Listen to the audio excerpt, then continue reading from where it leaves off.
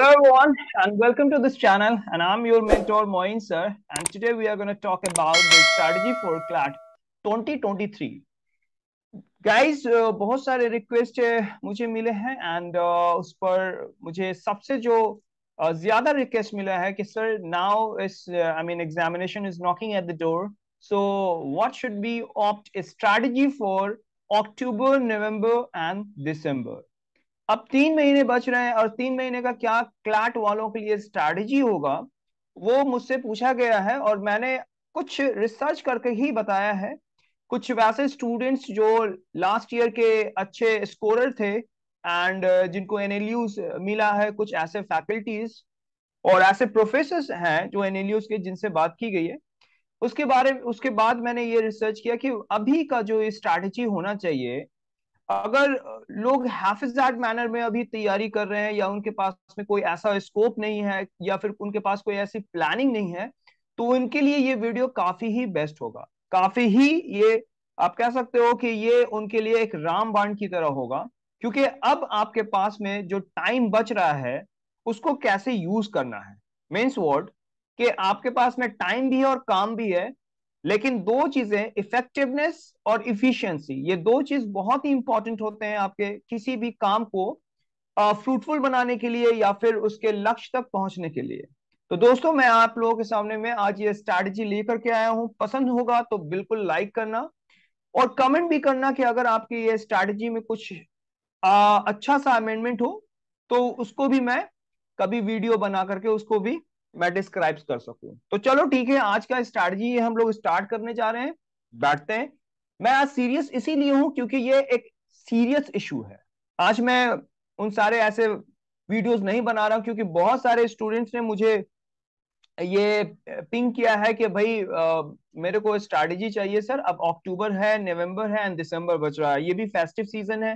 Festive month है पूरा का पूरा आपको दशहरा एंड दीपावली एंड छठ जो कि मेजर हमारे पास में फेस्टिवल है बिहार के। तो बेसिकली बिहार के स्टूडेंट्स के लिए ही ये कंसर्न वीडियो है कि जितने भी स्टूडेंट्स अभी फेस्टिव में है, वो क्या, किस तरीके का स्ट्रेटजी ऑप्ट करें और किस तरीके से अपनी पढ़ाई को कंटिन्यू रखें। एग्जामिनेशन बिल्कुल ही सही समय पे होगा 18 दिसंबर को, और अभी तक तो संभावना यही है।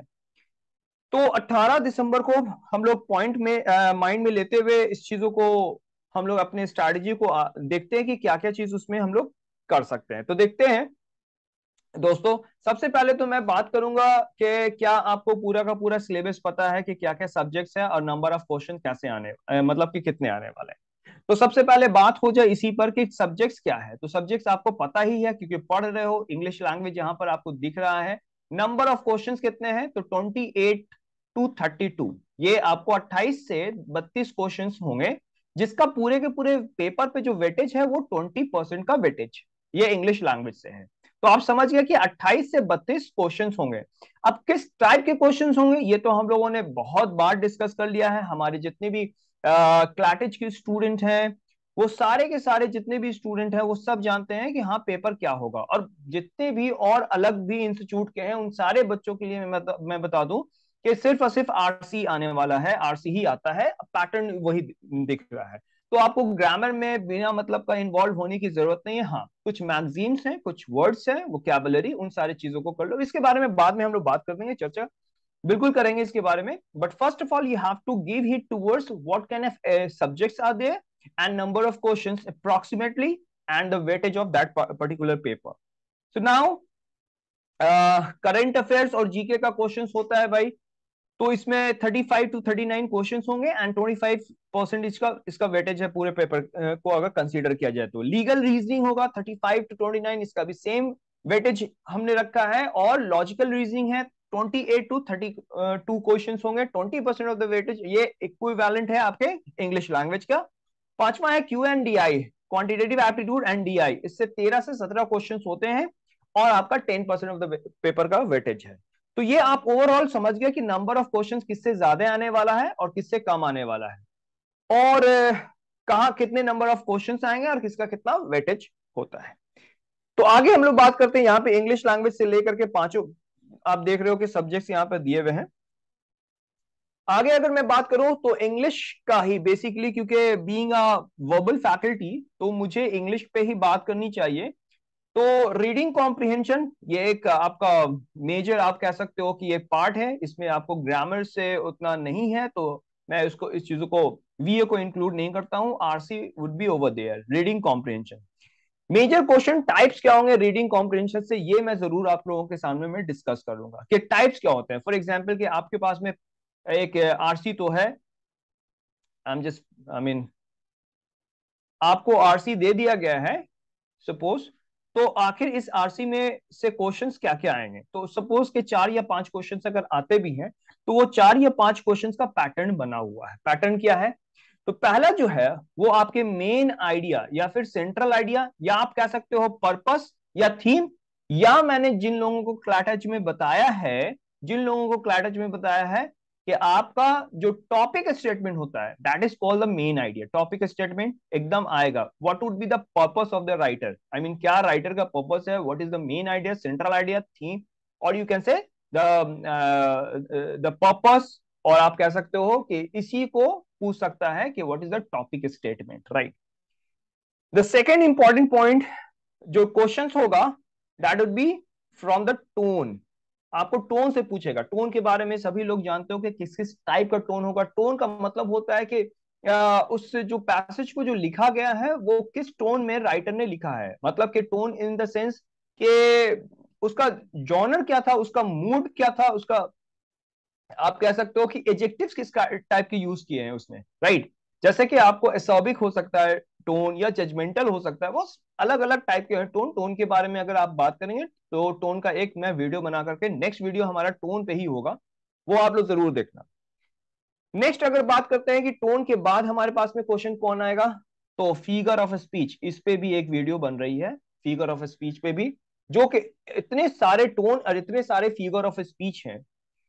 तो भाई कौन कौन से फिगर ऑफ़ स्पीच इंपॉर्टेंट होंगे, इसको बिल्कुल अलग कर दिया है, बच्चों पे बर्डन नहीं बनेगा। कुछ इंपॉर्टेंट फिगर ऑफ़ स्पीच जो कि रिपीटेडली पूछे जाते हैं तो उन सारे फिगर ऑफ़ स्पीच को हम लोग कंसीडर करेंगे। सिमली है मेटाफोर है पर्सनिफिकेशन है, ये सारे फिगर ऑफ़ स्पीच जो है ऑक्सीमोरॉन है, ये सब सारे इंपॉर्टेंट है फिगर ऑफ़ तो इसका एक वीडियो आप लोगों के लिए बिल्कुल tone plus figure of speech का वीडियो बिल्कुल आप लोगों को नेक्स्ट वीडियो अपलोड करूँगा मैं उसी से रिलेटेड क्योंकि इस पे भी कुछ लड़कों का कमेंट है, इस पे भी सर कि आप फिगर ऑफ़ स्पीच का नहीं अभी तक आपने दिया है। तो देखते हैं, बात करेंगे। इनफ्रेंशियल क्वेश्चन बाबा इनफ्रेंशियल क्वेश्चन थोड़ा सा एब्स्ट्रूज होता है इसमें थोड़ा सा दिमाग लगाने का है। सारे स्टूडेंट्स को मैं कंसीडर कर रहा हूँ। कि देखो इनफ्रेंशियल क्वेश्चन अगर बनता है तो ठीक है नहीं बनता है तो बेटा छोड़ देना उसे। उसे करने की ज़रूरत नहीं है। टोन देख लेना टोन तुम्हें समझ में आ जाएगा। कुछ टोन है सेंट्रल आइडिया समझ में आ जाएगा। फिगर ऑफ़ स्पीच भी समझ में आ जाएगा। इनफ्रेंशियल थोड़ा सा आपको कंफ्यूज uh, कर सकता है इन्फ्रेंस राइट right? तो इन्फ्रेंशियल क्वेश्चंस में आप देख लेना। कि अगर बनता है तो ठीक है नहीं तो उसमें लगने की ज़रूरत नहीं है क्योंकि that would be related to inferred करना पड़ेगा। अब इन्फर्ड के लिए वो अनस्टेटेड होता है वहाँ पे तो अनस्टेटेड मतलब कि उस पाँच ऑप्शन को चार ऑप्शन को एन, ए, मतलब एनालिसिस करने के बाद ही आ, वो आपको आंसर आंसर मिल पाएँगे। नेक्स्ट पॉइंट हमारा वोकेबलरी है जिससे साइनो एंटो एक क्वेश्चन ऐसा होगा जो कि वोकेबलरी बेस्ड होगा, वो पूछेगा कि what would be the literal meaning या फिर उससे रिलेटेड जो पैसेज में लिखा हुआ है कॉन्टेक्चुअल मीनिंग उससे पूछ सकता है साइनो या फिर उसका एंटो तो ये पाँच क्वेश्चन जो आपके लिए इंपॉर्टेंट है, इस चीज़ों को देखना। और एक होगा डायरेक्ट क्वेश्चंस मतलब कि इसमें से ऑप्शन तो होंगे ही होंगे, या तो साइनो एंटो देगा या डायरेक्ट क्वेश्चन होंगे। एक डायरेक्ट क्वेश्चन बिल्कुल पूछता है कि उसमें जो फैक्चुअल होते हैं फैक्ट फैक्ट एंड फिगर से रिलेटेड या एग्जाम्पल्स होते हैं, या फिर आइडियाज़ होते हैं ये सब सारे क्वेश्चन उसमें डायरेक्टली पूछा जा सकता है। मतलब जो पैसेज में दिया रहेगा कि what are the methods have by the writer author इसमें कितने मेथड्स हैं uh, या फिर कितने टाइप्स है ये सारी चीज़ें उससे डायरेक्ट क्वेश्चन पूछे जा सकते हैं। तो मैं आप लोगों से बोल रहा हूँ कि पैसेज में जो क्वेश्चन पूछे जाएँगे ये आपके छह एरिया है भाई मेजर क्वेश्चन टाइप्स हैं।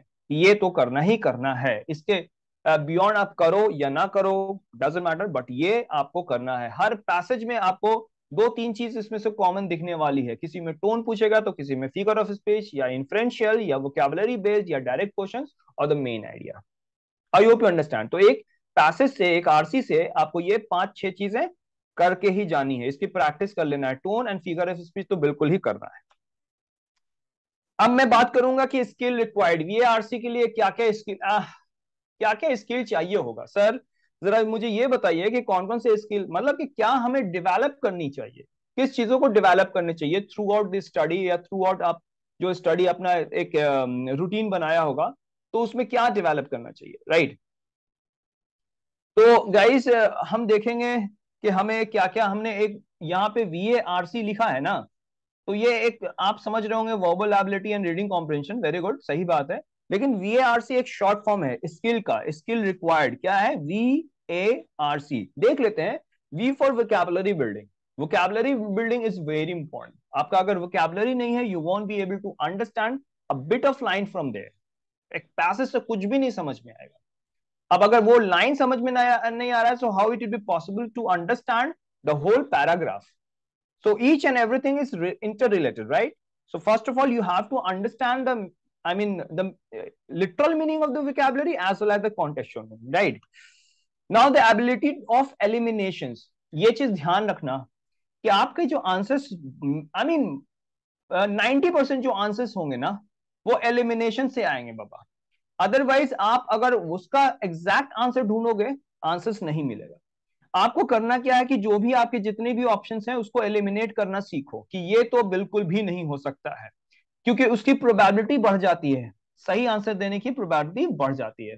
फॉर एग्ज़ाम्पल अभी एक मिलने वाला था आंसर्स मिलने वाले थे इन चार में से, इन तीन, चार में से एक मिलने वाला था। अभी आपने एलिमिनेट जो किया है तो एलिमिनेट करने के बाद आपके पास में दो में से एक आंसर होगा।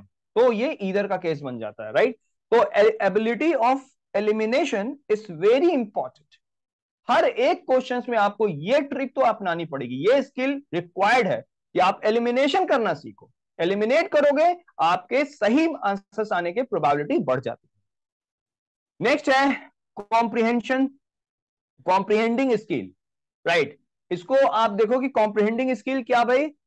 तो reading habit and comprehending skill मतलब रीडिंग एक सिर्फ़ इंपॉर्टेंट नहीं है कि आप उसको रीडिंग कर ले रहे हो। कॉम्प्रिहेंडिंग स्किल भी होनी चाहिए। रीडिंग आपकी बहुत अच्छी है। अभी का टाइम क्या है? स्पीड पर मत ध्यान दो। अभी का टाइम जो है, आपके जो जो आपके स्किल्स हैं, उसको यूज़ करो और उसको कर, करके आप उस पर मार्क्स गेन करना सीखो कि किस तरीके से आप मार्क्स अब ये सारे स्किल्स रिक्वायर्ड है वहाँ पे जहाँ पे आपको मार्क्स दिला सकते हैं। तो विकेबलरी आपके स्ट्रांग होने चाहिए मॉडरेट तो होने चाहिए। मैं आपसे ये नहीं बोलूँगा कि आपके बहुत ही अच्छे वोकेबलरी एडवांस लेवल की वोकेबलरी आपके पास हो, लेकिन मॉडरेट तो आपको होने चाहिए। एलिमिनेशन करना सीख लो। कॉम्प्रिहेंडिंग स्किल बहुत अच्छी आनी चाहिए, क्योंकि कॉम्प्रिहेंडिंग स्किल का मतलब ही है ये वोकेबलरी अगर होगा ना तो वोकेबलरी से ही आपका कॉम्प्रिहेंशन स्ट्रांग हो जाएगा। क्योंकि वोकेबलरी स्टक करा देता है आपको किसी चीज़ को कॉम्प्रिहेंड करने के लिए। एंड रीडिंग जो हैबिट है, ये आप चाहे वो नॉवेल से डालो मैगजीन से डालो, या फिर आप न्यूज़पेपर पढ़ते हो, या कोई टेक्स्ट बुक ही पढ़ते हो रीडिंग हैबिट आपकी होनी चाहिए। सर, कितना देर पढ़ना चाहिए? मैं इसके बारे में भी बताऊँगा। कितना देर आपको क्या पढ़ना चाहिए? कैसे करना चाहिए? तो क्या स्किल डेवलप करनी है? First of all vocabulary you have to be very clear कि वोकेबलरी होना चाहिए। एलिमिनेशन बेटा, आपको आना चाहिए कि आप किस तरीके से चार पाँच ऑप्शन में से किस तरीके से आप एलिमिनेट करो। कम से कम दो छाट तो दो। दो को तो हटाने की ये एबिलिटी क्षमता होनी चाहिए। अगर नहीं है तो फिर तुम मुश्किल में हो। Right right. फिर उसको कॉम्प्रिहेंडिंग स्किल होनी चाहिए। कॉम्प्रिहेंड करना सीखो। और ये कॉम्प्रिहेंड करना कब सीखोगे? जब तुम्हारा वोकेबलरी स्ट्रांग होगा तो ऑटोमेटिक ये कॉम्प्रिहेंडिंग स्किल हो जाएगी। लास्ट में कि रीडिंग हैबिट तो बिल्कुल भी डाल लो। अभी अक्टूबर मंथ है, अक्टूबर के बारे में भी मैं बताऊँगा कि अक्टूबर में तुमको क्या करना है। ये स्किल्स आप लोग देख लो वीएआरसी का ये स्किल है। गाइस मैं यहाँ पे दो चीज़ों को आप देख पा रहे हो पिक्चर में दिया हुआ है। एक एडिटोरियल जो यहाँ पे क्लाटेज आपको देती है, ये क्लाटेज की बुक है एडिटोरियल और यहाँ पर आपको करंट अफेयर्स आता है, ठीक है? ये अगस्त महीने का है सितंबर का भी आ चुका है ये और अक्टूबर में हम लोग इंटर कर चुके हैं, ठीक है? तो ये मैंने दिखा दिया है कि इस अगस्त को और और आपके सितंबर को या फिर जून में जितने भी द हिंदू के एडिटोरियल के ये पेजेस आपके पास में है या फिर शीट्स है, इन दोनों को कंप्लीट करना चाहिए।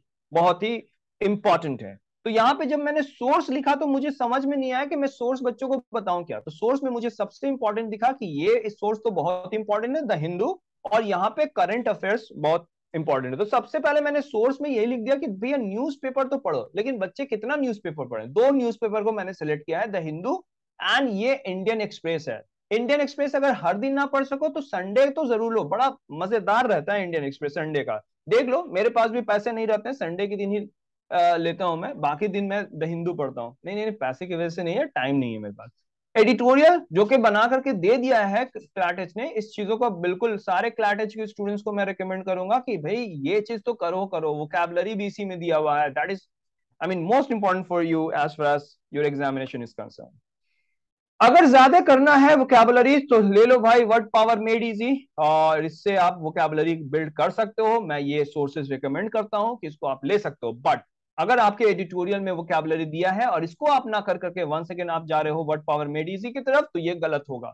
मतलब है क्या कि पहले छोटे छोटे पुण्य कर लो, बड़े पुण्य तो आपको करने ही करने होंगे, है ना? तो बड़े पुण्य की वजह से वो भी छोटे छोटे पुण्य। तो ये आप कर लो, उसके बाद आप जाना ना वर्ड पावर मेड इजी की तरफ़।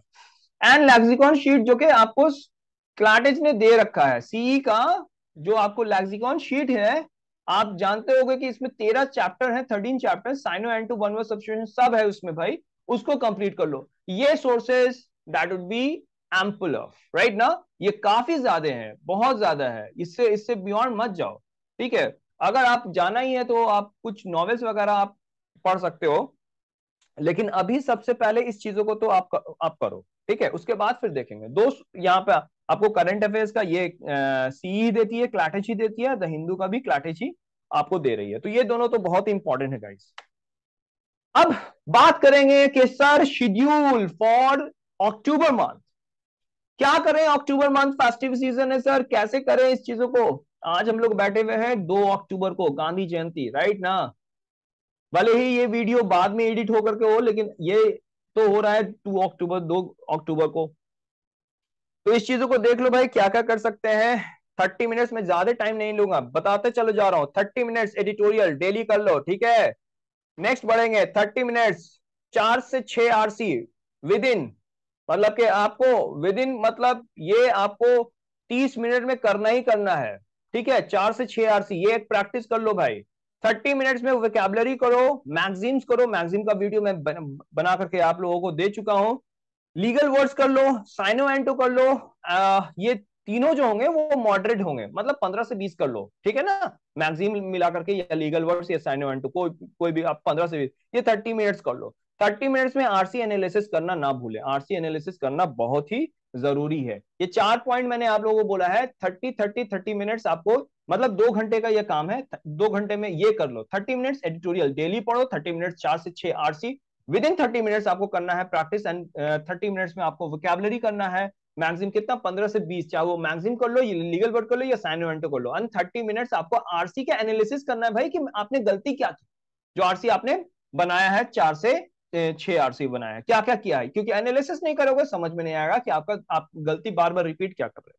अब मैं आपको बता रहा हूँ कि नवंबर में क्या करना है और क्या नहीं करना है। नवंबर से दिसंबर में, भाई नवंबर से दिसंबर काफ़ी क्रूशियल मंथ होगा। जितने भी क्लैट के स्टूडेंट हैं तो देखो गलती मत करो यार दोबारा फिर इस चीज़ को गलती नहीं दोहराना चाहिए। मैं आप लोगों को बार बार ये चीज़ बताने की कोशिश कर रहा हूँ। मॉक देना स्टार्ट कर दो। नवंबर से मॉक देना स्टार्ट कर दो। अभी ये जो अक्टूबर का मंथ चल रहा है ना इस अक्टूबर में आप लोग सारे के सारे जितने भी लूप होल्स हैं उस पर वर्क करो और उस, उस चीज़ों को आप लोग कवर अप कर लो। मॉक हो गया then after revision is most important then after editorial ये भी काफ़ी ज़्यादा इंपॉर्टेंट है। एडिटोरियल मैं बोल रहा हूँ कि बार बार एडिटोरियल के बारे में मैंने बताया है। Then after analysis your mistake is very important अगर आप एनालिसिस नहीं कर रहे हो अपने मिस्टेक का, बहुत प्रॉब्लम है। जो करना है, वही मैं आप लोगों को बता रहा हूँ। Mock revision editorial and analysis your mistake भैया इंग्लिश बोलना अभी से स्टार्ट कर दो। क्योंकि जो आप वोकेबलरी कर रहे हो ना, उसको अपने डे टू डे कॉन्वर्सेशन में भी लाओ ना यार। किस लिए? रट्टाफिकेशन कर करके क्या काम देगा? वो भूल जाओगे। कैसे यूज़ में? मतलब याद तुम्हें कैसे रहेगी? वो अपने डे टू डे कॉन्वर्सेशन में उसको ये कर लो। Use vocabulary has just given over there right ना speak English and use vocabulary mock देना है रिवीजन करना है, ज़्यादा कुछ नहीं करना है। मॉक देना है रिवीजन करना है। नवंबर मंथ की मैं बात कर रहा हूँ। नवंबर से दिसंबर में आपको कम से कम नहीं, चालीस से पैंतालीस दिन। चालीस दिन का भी तुम मान लो तो आप मॉक डेली बेसिस पे लगाना स्टार्ट कर दो। चालीस मॉक हो जाएँगे, यार। चालीस मॉक हो जाएँगे। तब तक आपका जो अक्टूबर मंथ में ये है ना, इसमें आपका काफ़ी ज़्यादा आप पैसेज पे कमांड कर चुके हो आरसी पे। रिविजन करो। रिविजन बहुत इंपॉर्टेंट है। रिविजन लोग छोड़ देते हैं। जो चीज़ पढ़ा है, अब उसी को। नया चीज़ कुछ भी मत डालो। एडिटोरियल कंटिन्यूसली आप दिसंबर तक पढ़ो। एनालिसिस योर मिस्टेक करते रहना। मिस्टेक कहाँ पे किया है? इंग्लिश बोलना स्टार्ट कर दो। अभी आपके पास में अच्छा खासा दिन है। ऑलमोस्ट कह सकते हो कि आपके पास सेवेंटी डेज़ है। मोर देन तो सेवेंटी डेज़ में आप इंग्लिश बोलो जितना ज़्यादा से ज़्यादा वोकेबलरी को अपने कॉन्वर्सेशन में यूज़ करोगे that will be fruitful abstain from using many sources बहुत सारे सोर्सेस का यूज़ करना बंद कर दो। जितने भी है ना नवंबर में, बंद कर देना। जितने भी सोर्सेस हैं, आप ये चैनल देखते हो, वो यूट्यूब चैनल पे देखते हो, वहाँ से सोर्सेस कलेक्ट करते हो नो नॉट स्टॉल अब जो तुम्हारे पास में जो चीज़ भी बचा है ना, उसी पे बस काम करो। ठीक है? Keep in touch with experts और एक्सपर्ट से जुड़ जाओ नवंबर से दिसंबर तक। क्यों? क्योंकि तुम्हारे पास में जो मिस्टेक्स होंगे, उसके एनालिसिस करोगे। हो सकता है कि उस एनालिसिस को भी तुम मतलब कि ना कर पाओ। तो एक्सपर्ट से जुड़े रहोगे, तुम आराम से इस चीज़ों को समझ जाओगे कि तुमने मिस्टेक कहाँ पे किया और उसको उसको कैसे ओवरकम करना चाहिए। राइट गेस तो मिलते अब हम लोग डोंट की तरफ़ कि करना नहीं है, क्या नहीं करना भैया। सो मेकिंग नोट्स नवंबर से दिसंबर में नोट्स बनाना बंद कर दो। मत करो यार टाइम कंज्यूमिंग है। काफ़ी ज़्यादा टाइम लेता है। बड़े आर्ट्स वाले बंदे लोग जो होते हैं ना, लग जाते हैं नोट्स बनाने के लिए। भैया, ये नोट्स किसके लिए बना रहे हो? दिमाग के लिए बना रहे हो कि अपने फ्रेंड्स के लिए बना रहे हो? किसके लिए बना रहे हो? तो नवंबर से दिसंबर जो आपका 18 दिसंबर को जो एग्ज़ाम होने वाला है, उससे, उसके मतलब स्ट्रैटेजी आपको फॉलो करना चाहिए। वहाँ पे आपके पास में टाइम नहीं है। रिवीजन करो मॉक दो एडिटोरियल पढ़ो एनालिसिस योर मिस्टेक्स ये सब सारी चीज़ें हैं। नोट्स बनाने का टाइम खत्म। आपको नोट्स अगर बनाना ही है तो पूरा का पूरा आप अक्टूबर में नोट्स बना लो कि हाँ भाई हमको किस तरीके से नवंबर और दिसंबर में अपना काम करना है? चाहे वो करंट अफेयर्स का ही नोट्स क्यों ना हो, चाहे वो किसी भी चीज़ों का क्यों ना हो नोट्स शॉर्टकट रीडिंग ये बंद कर दो भाई। शॉर्टकट रीडिंग बहुत आदमी कर करके ना, होता क्या है कि पैसेज दिया हुआ है शॉर्टकट रीडिंग करने के लिए सोचते हैं और उससे आंसर्स निकालने की कोशिश करते हैं। नहीं थॉरली आपको पढ़ना पड़ेगा। वो भी जानता है एग्जामिनर भी जानता है कि भाई ये क्या करेगा। वैसे क्वेश्चन आना बंद हो गए हैं जो शॉर्टकट के बेसिस पे हो। वो पूरे के पूरे जब तक आप आप पर्पस कैसे निकाल पाओगे? टोन कैसे निकाल पाओगे कि असाबिक है कि कौन से टोन है इसमें? कैसे निकाल पाओगे? सेंट्रल आइडिया कैसे निकाल पाओगे? ये सब सारे अगर आएँगे तो पूरा थॉरली आपको पढ़ना ही पड़ेगा। शॉर्टकट रीडिंग से काम नहीं चलेगा। शॉर्टकट रीडिंग कहाँ पे है? थोड़ा बहुत जो वोकेबलरी होगा ना वोकेबलरी से आप वोकेबलरी बेस्ड जो क्वेश्चन होते हैं, उसमें आगे पीछे दो तीन लाइन पढ़ करके उसको समझ लेता है कि हाँ भाई, हमें क्या उस वर्ड का मीनिंग निकालना चाहिए। कंफर्ट जोन से बाहर आ जाओ। सबसे पहले कंफर्ट जोन में तुम लोग रह रहे हो। नवंबर, दिसंबर में कंफर्ट जोन से बाहर आकर के पूरी की पूरी प्रैक्टिस पे जी जान लगा दो। करने वाले के लिए बता रहा है, नहीं करने वाले के लिए कंफर्ट जोन में रहो या रजाई के अंदर रहो, कोई फ़र्क नहीं पड़ेगा। ठीक है? क्योंकि नवंबर और दिसंबर ठंड का मौसम होगा और जितना ठंड के मौसम में तुम अपना आपको गर्म रखने की कोशिश करोगे ना, कुछ नहीं हो पाएगा। ठीक है? गर्म मत रखो, ठंडे रखो थोड़ा सा। दिमाग भी ठंडा रहेगा और काम भी होगा। गर्म होगा तो पता नहीं क्या क्या होगा। निगेटिविटी ये हटा लो। अपने जो सराउंडिंग्स में जितने भी तुम्हारे नेगेटिव लोग बैठे हुए ना, उनसे भाई दूरी बना लो नवंबर, दिसंबर में। निगेटिविटी हटा लो। क्योंकि ज़्यादा तुम परेशान नहीं होते, दूसरे लोग ज़्यादा परेशान करते हैं। अभी तक ये नहीं किया जी। चार ही चैप्टर किया है। तुम्हारा फ्रेंड ही तुमको आकर बोलेगा क्या अच्छा बस, अरे ये वाला नहीं किया, वो वाला नहीं किया। अरे नहीं, तुम्हारा भी एक अलग जोन है। मैं बोलता हूँ कि देखो, तुमको भी क्वेश्चन छोड़ना है। तुमको फोर्टी परसेंट क्वेश्चन छोड़ देना है। सिक्सटी परसेंट तुम्हें क्वेश्चन अटेम्प्ट करने हैं। अरे भाई तो फोर्टी परसेंट अगर तुमको छोड़ना है तो वो चैप्टर तुम अभी से छोड़। मत करो प्रैक्टिस नवंबर, दिसंबर में कुछ नया मत करना। जब तक हो गया, अक्टूबर में हो गया। तो चालीस परसेंट जब छोड़ना है तो हो सकता है कि उसके पंद्रह चैप्टर में से दस चैप्टर वैसे होंगे, जिस पर इसने प्रैक्टिस किया। दस चैप्टर आपने भी किया है, लेकिन ये जो पाँच चैप्टर जो आपने छोड़ा है और पाँच चैप्टर जो इसने छोड़ा है, ये मैच ना करता हो। तो इसके कहने पर आप इन्फ्लुएंस मत होना कि अरे, ये वाला चैप्टर नहीं किया है, बहुत इंपॉर्टेंट था यार, ये वाला तो करना चाहिए था। मैं क्वांट के लिए भी बता रहा हूँ, सभी चीज़ के लिए बता रहा हूँ। तो ये निगेटिविटी से दूर रहना भाई। जो तूने किया है ना, वो तेरा ही बढ़िया है बेस्ट है। अपने आप को पॉजिटिव माइंड से ही काम करो। ये नेगेटिविटी और इस सारे चीज़ों से बचो। ओवर थिंकिंग बहुत लोग ओवर थिंकिंग के मारे होते हैं। ओवर थिंकिंग मतलब कि उनके पास में कुछ नहीं है, लेकिन वो सोच लेंगे। तो भाई, मैं आपको यही बता दूँ कि मरने से पहले भूत बनने का खाब मत देखना। पहले मरो, तब भूत बनो। गेटिंग माय पॉइंट तो कभी भी ओवर थिंकिंग मत करना कि हम फेल हो जाएँगे, ये हो जाएगा, वो हो जाएगा। नो नॉट एट ऑल तुम उस वक्त तक राजा हो जब तक एग्ज़ाम नहीं दिया है। उस वक्त तक तुम टॉपर हो। अपने आप को ये समझ लो। एग्ज़ाम्स देने के बावजूद भी तुम टॉपर हो। जब रिज़ल्ट आएगा तो कह देना, भाई रिज़ल्ट गड़बड़ था। दैट्स इट लेकिन ओवर थिंकिंग मत करना। ये सारे चीज़ मैंने जो आप लोगों को बताया है शेड्यूल है नवंबर और दिसंबर का। वन सेकेंड में बात कर रहा हूँ और जो पीछे मैंने आप लोगों को बताया है, वो आपके अक्टूबर मंथ में है। क्या करना और क्या नहीं करना, इसको मानोगे तो भी चाहिए नहीं मानोगे तो भाई, अपना बेस्ट देने की कोशिश करो। मेरे विशेष तुम्हारे साथ में हमेशा रहेंगे। सभी स्टूडेंट्स के साथ में, मेरे विशेष हैं। ये दो चीज़ें इंपॉर्टेंट जो मैं आप लोगों को स्क्रीन पे दिखा रहा हूँ। एडिटोरियल एकदम कर लो। जिन लोगों के पास में एडिटोरियल का शीट नहीं है, पूरा के पूरे मंथ का ये एडिटोरियल आता है भाई। अगस्त का है सितंबर का अक्टूबर का सबका है। मेरे पास इसी की कटिंग बची हुई थे, इसलिए मैंने इसको लगा दिया। और ये करंट अफेयर्स के लिए बेस्ट है भाई, जो आपको क्लाटेज में ही मिलते हैं। ये दोनों पार्टिकुलरली क्लाटेज के बेस्ट मटेरियल में से एक है। तो आप इनको फॉलो ज़रूर करो। और जो भी आप लोगों को लगता है कि सर आ, मैं इस तरीके से तैयारी करता हूँ मैं कमेंट चाहता हूँ आप लोग से कि कमेंट एटलीस्ट करो कि हाँ सर मेरी तैयारी में ये है प्रॉब्लम है या फिर तुम्हारी तैयारी सुपर जा रही है। तो अगर सुपर जा रही है तो मैं तुमसे स्ट्रैटेजी पूछूँगा कि किस टाइप का तुमने स्ट्रैटेजी आप किया है भाई ताकि दूसरों का भी भला हो जाए तुम्हारे भाई हैं। जलन कब तक रखोगे यार? जलन में तो आदमी जल ही रहा है इसीलिए तो ठंडा लेट से आ रहा है क्योंकि लोग हर हर लोग जल जल जल जल के ना पूरा गर्मी पैदा किए हुए हैं। तो मेरे दोस्तों, सभी लोगों को मैं ये आप लोगों को बता देना चाहता हूँ कि स्ट्रैटेजी अभी से फॉलो कर लो। You don't have ample of time बहुत कम टाइम है and examination is knocking at the door so you have to welcome by your I mean smiling face right तो उसको आप, क्योंकि मैंने एक कहानी आप लोगों को बताई होगी, दो टापू वाली, दो आइलैंड वाली। ये आइलैंड से वो आइलैंड राइट ना? याद होगा, सारे जितने भी मेरे क्लाट के एस्पिरेंट हैं। तो वही है, उस टापू पे जाना है बेटा, लेकिन कैसे जाना है? You have to make you mind right चलो, फिर मिलते हैं हम लोग नेक्स्ट वीडियो में। मैं आप लोगों को नेक्स्ट वीडियो में बहुत सारी इंपॉर्टेंट चीज़ें बता रहा हूँ, उसके लिए भी देखना। अरे यार, सब देख देख करके रह जाते हो सब्सक्राइब नहीं करते हो। मेरे को सब्सक्राइब कर दिया करो यार। ऐसे तो ऐसे थोड़ी होता है। मैं सब्सक्राइब के लिए बोलता रहता हूँ तुम लोगों को, नहीं मानते हो। कर दिया करो थोड़ा सा। मिलेंगे नेक्स्ट वीडियो में। Have a nice day bye bye